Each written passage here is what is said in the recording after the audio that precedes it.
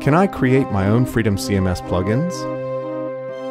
Tired of having to conform to the same old plugins given by our current content management system? Mm-hmm. Switch to Freedom CMS and create your own custom modules. Really?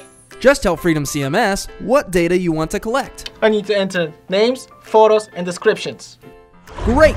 Now just use a little HTML to tell Freedom CMS how to display the information on your website. Wow, that was easy. I didn't even need PHP. That's right! Creating custom modules only require HTML and CSS. Well, I forgot something.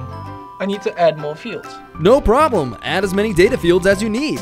Once you start using custom modules and integrating them to work with the rest of your website, the power of Freedom CMS becomes clear. Wait, I've got 6,432 more plugins for you to try.